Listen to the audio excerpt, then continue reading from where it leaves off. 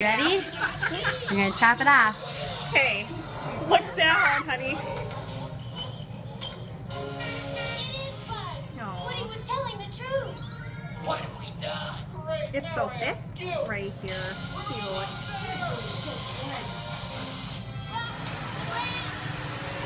Here. Oh okay, you're all done with your haircut. Look No, at it.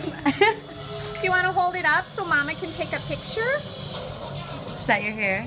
I can't believe I cut my hair off.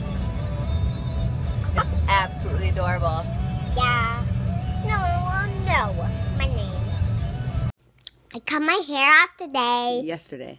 I cut my hair off yesterday. It was so much fun. Like it? I gave it to someone who didn't have any hair. So that's why